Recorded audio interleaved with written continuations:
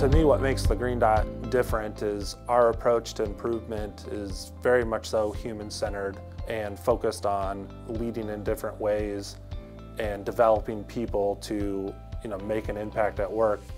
I think this has been a really great way to think about the work that we do in process improvement and balance that with the humans, the people that are impacted by those changes and those developments that you're recommending. I've been really pleased with it and really happy with the approach that Green Dot has taken in this regard.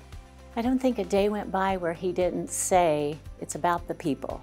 It used to be about the processes. Well, we certainly are concerned about the processes. We're more concerned nowadays about the people.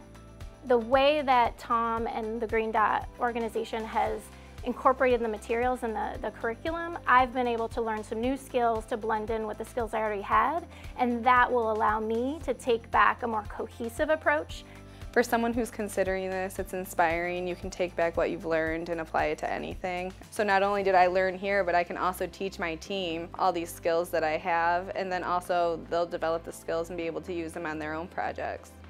A lot of organizations, a lot of curriculums are always focused on let's make sure we have the right solution. Our focus is on let's develop the people to feel right about themselves, their ideas, uh, their previous experiences, so that they can connect with another, build on each other's ideas, and truly make a difference. Everything we did was a learning opportunity. We were able to talk about who were our customers. This was able to give me additional tools for continuous improvement while I can still hone in on my project management.